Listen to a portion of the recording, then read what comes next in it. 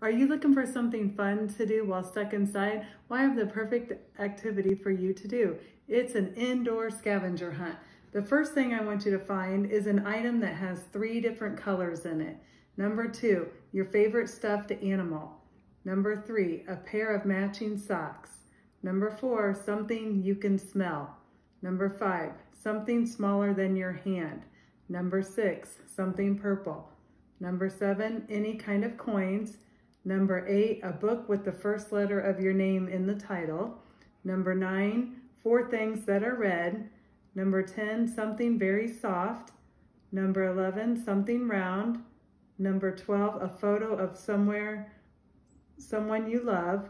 Number 13, an item you can see yourself in. Number 14, an item that makes you feel cozy. And number 15, and the last thing I want you to find is your favorite snack to eat since you've worked so hard finding these items. Enjoy!